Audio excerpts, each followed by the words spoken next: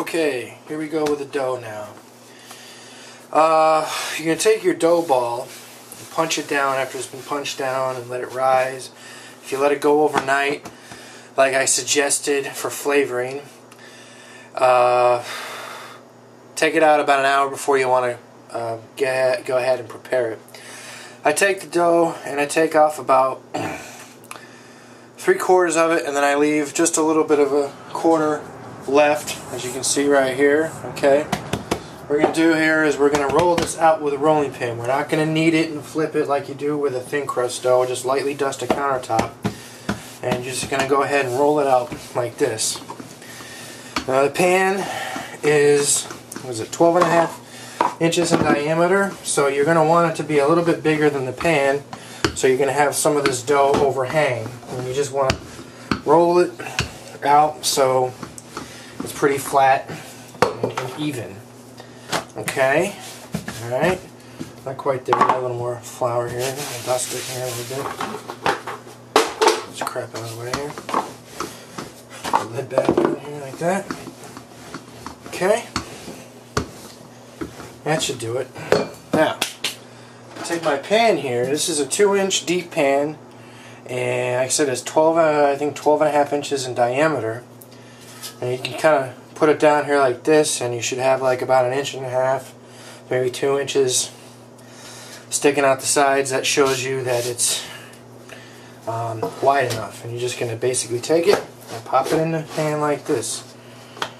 And put it in here like that. Okay. Now the pan has been greased. I actually just use good old-fashioned butter. Maybe you want to use olive oil or I don't know, Crisco, so we use Crisco for the dough. Well, actually, I use a little bit of Crisco and a little bit of butter. And it bakes into the crust and makes it very, very tasty. And you're just going to basically, what you're trying to do here is you're trying to get this crust, or the dough, all the way up to the edge here, to the walls. You might have to pull it back and stretch it a little bit. Alright, but you don't want any gaps, you don't want any air or anything getting trapped underneath there. You want it to go all along the wall like this. Okay. That's that.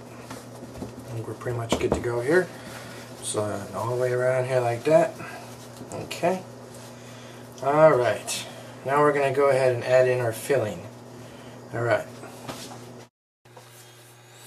Okay, so now we're going to add in the filling here for our pie. We're going to do sausage.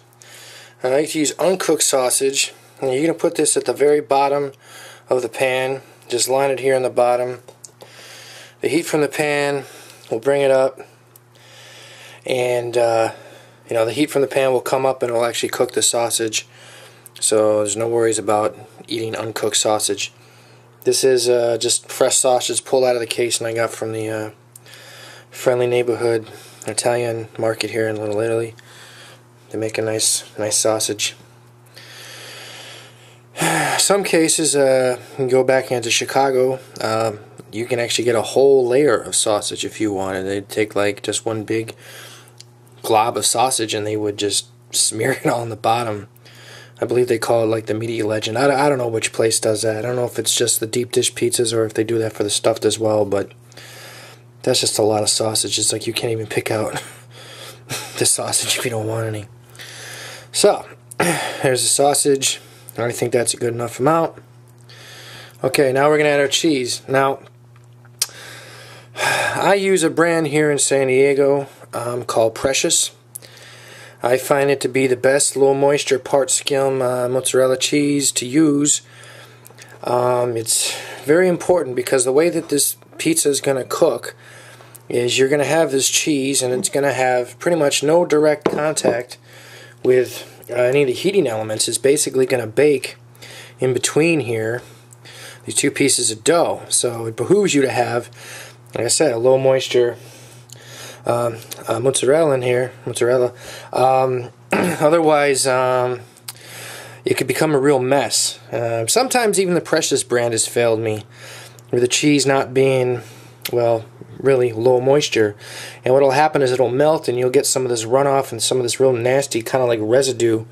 Now what I'm actually doing in between is I'm actually putting in a couple slices of provolone in there for a little little different little texture, little, well, not texture, but flavoring. Uh, I used to think that was sacrilege when I see people do that, but um, it's actually very tasty.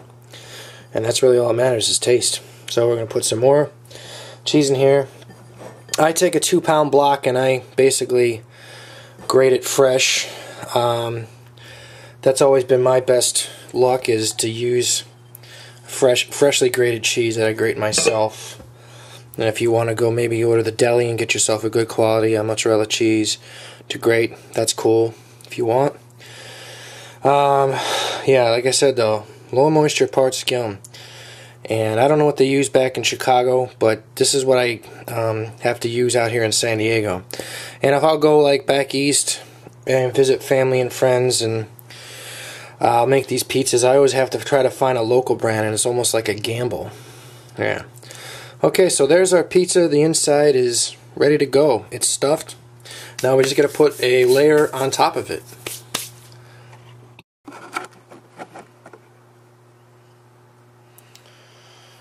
Okay, we have our top layer of dough on here now. As you can see, I got a layer of dough here and a layer of dough there.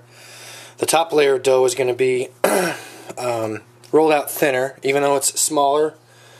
Um, you're going to roll it out thinner. I've poked a couple of holes in here this is going to allow some of the steam to escape and what I'm doing here is just kind of going around the pie and sort of pushing on these two pieces of dough to kind of stick them together. Okay. And it should be nice and even. Me pull this one little back a little bit.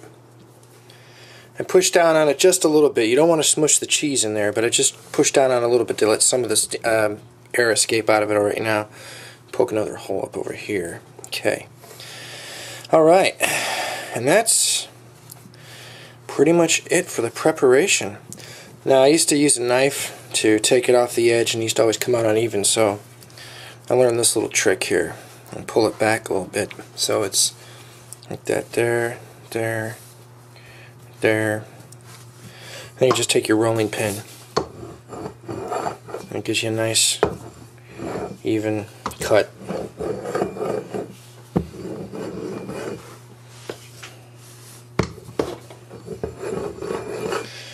Ta-da! Alright, and then you just pull off the excess here. And there you go. It's ready to be uh, thrown in the oven. Now, people put holes in here to allow steam to escape.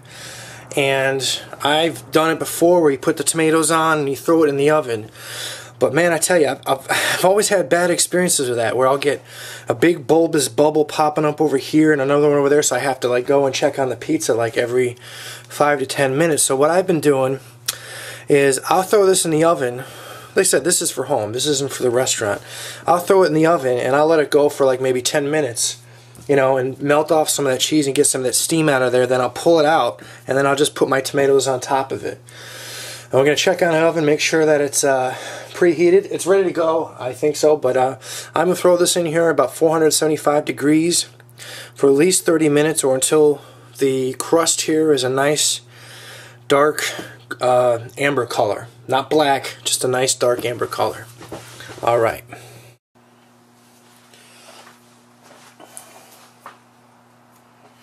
Okay, here's our pizza pie done out of the oven. Got a little charred up around here. That's okay. Um, now here comes the tricky part. I actually have another pizza pan that has a removable bottom. Makes it really easy to take these monstrosities out of these deep pans. Um, however, if it's cooked and it's cooked good enough, you know, and it's a nice solid crust, I got one of these things too for the uh, deep pans. You can take a spatula. This is like one of my barbecue spatulas. It's a little longer. It's made out of metal. And you might end up sort of, uh, you know, breaking the crust a little bit, but that's okay because you're really just trying to get it underneath here and then transferring it to another pan. Ta-da! And then what you're going to do is once it's clean and everything like that, you can go ahead and just cut it up. I mean clean. Did I say clean? And once it's cooled a little bit, you can go ahead and cut it up. I mean, I can cut it up right now. So, let me get ready for to cut. Okay. Okay, so here it is, done. It's cooled off just a little bit. I'm going to use one of these pizza cutters here. I've never actually used one of these before. I just got it actually yesterday. But pretty simple, you just kind of cut it on here that. And then go across here. Yeah, like that. Rock it back and forth. And one more over here. I mean, you can cut in the eighths or sixteenths, whatever you want to do, but there you go. Cheese is oozing out of this bad boy. It looks delicious. And one match here and one here and whatever. Alright. Maybe another little like that. Okay. Cheese is just oozing out of here. Then we can take a regular spatula and just turn it here to the camera. This, well, you can see here the crust is nice and cooked all the way around here. Let's pop this thing out. Whoop. Little bugger sliding. I'm looking at here. Sausage is cooked all the way through. And it's just oozing, oozing mass amounts of cheese. I've seen other videos where people have put up um, comments about these type of pizzas, you know, people that are used to the thin crust and everything like that. Uh, some guy put a comment there say, well, they put so much cheese in there to take up the lack of flavor from the tomatoes and the crust, and that could be nothing but further from the truth. Everything about these type of pizzas, is my favorite type of pizza, stuffed pizza is great. I mean, the crust just tastes delicious. Noticing I put a lot of oil, a lot of greasy things in here, but you know, you wipe your hands in here, there's no grease. Everything is baked right into the crust. Um, good quality cheese, so the cheese all melted evenly and everything. And the tomatoes, I mean, just pick off a little piece right here. Delicious. Awesome. And this is my take on uh, Chicago stuffed pizza because I live out here in San Diego and there are some places that sell stuffed pizzas, but I don't think they do it right. So I've learned how to make it myself, and uh, I haven't had one person sit there and tell me my stuffed pizzas suck. So uh, follow my recipe, give it a shot. Hope you enjoyed the video. Have a nice day. Bye.